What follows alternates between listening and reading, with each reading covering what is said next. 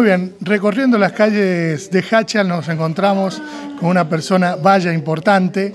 Eh, en este momento eh, hay algunas preguntas para hacerle, lo, vamos a presentar. Cuando le diga el apellido se van a dar cuenta por dónde viene eh, la mano. Campaso, no sé si, si, le suena el apellido.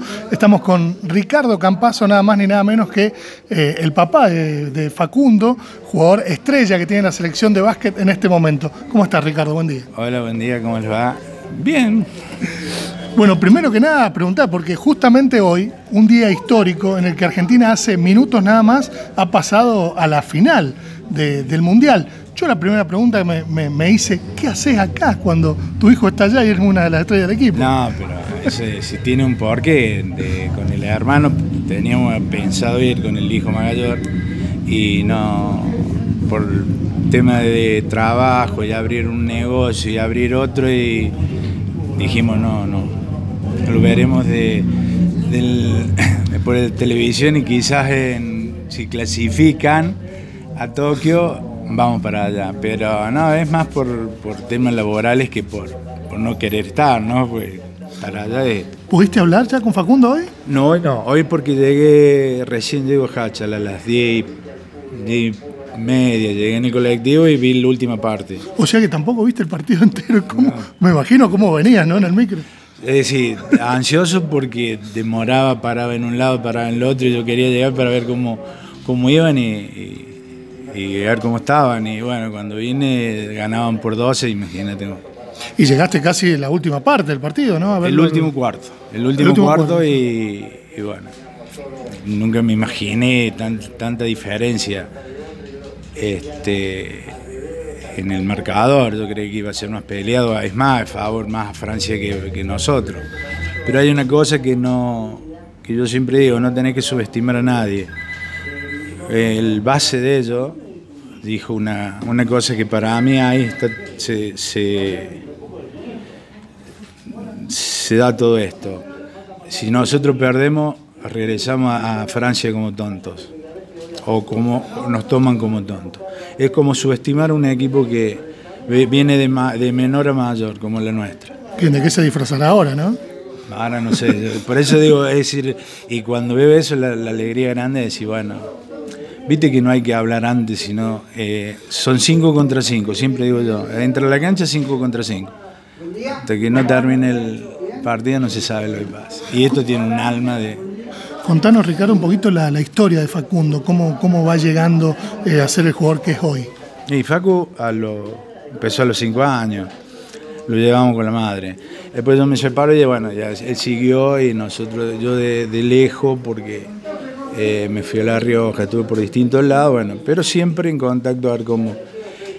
Y a los. Después pasa, sale en el Club Municipalidad de Córdoba, pasa a, Unión Eléctrica, y ahí se va a Mar del Plata a un argentino del club. Y ahí lo veo Echeverría, se llama el, hombre. Y bueno, y ahí lo, lo llevó y bueno, ya venía con... Antes de irse allá lo fui a ver a La Rioja, un argentino con la selección de Córdoba. Ahí me di cuenta que sí, sí podía llegar por el tema de que amor propio, ¿no? Bueno, ¿y cómo es tu, tu relación con él? Linda, no, él siempre estamos en contacto y la otra vez vino de vacaciones, cuando tuvo una semana en Córdoba, estuvimos ahí. Es más, vi la, pancita de la, de la nieta que viene en camino. Y bien, bien, muy, bien, con una relación muy linda que tenemos. Que nos, a ver, eh, la relación es nuestra, ¿no? muy, muy padre-hijo, padre-hijo-hermano, el, el mayor es todo eso. Eh, que no, quizás no me, no me vean en ningún lado, quizás... Yo no, no me gusta tanto es también esto. no, no, pero teníamos que, preguntarte algo. ¿Te imaginas que justo en este momento acá eh, encontrarte en este lugar y cómo no, no, no hacerte eh, una nota? Bueno, ya para, para terminar, ¿cómo te imaginas el partido con España, la final? Iba a ser más dura. ¿Más dura que el de hoy? Sí, Digo, el de hoy fue fácil.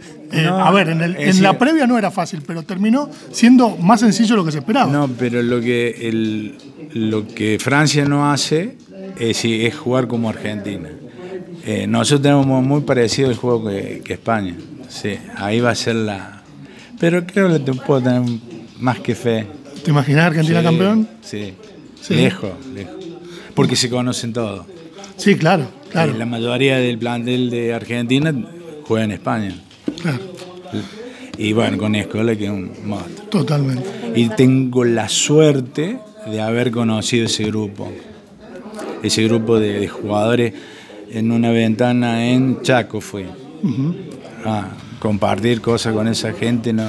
El equipo, se, dice que el equipo es muy fuerte, en, el equipo en sí, todos los, chicos. Es un grupo, yo diría que es un grupo de amigos que juega al básquet para divertirse. ¿Y eso los hace ganadores? Eso lo hace Es decir, el, hecho de ser amigos y disfrutar del básquet y, jugar eh, con alegría el básquet, no, no ser profesional, ¿viste? Eso que eh, vos los veis tan mudos, continuamente se, es risas, chiste, disfrutan del básquet y juegan con toda la alegría del mundo. Ahí está la diferencia con los otros equipos. Ahí hacen ellos la diferencia. ¿Qué le decís a Facundo? Nada, que trae el título. ¿Te lo imaginaste alguna vez así? Así no, no sé, no, no, tendría que ver, ¿no? Tendría que ponerme a pensar, pero sí que iba a llegar. Bueno, muchas gracias, Ricardo.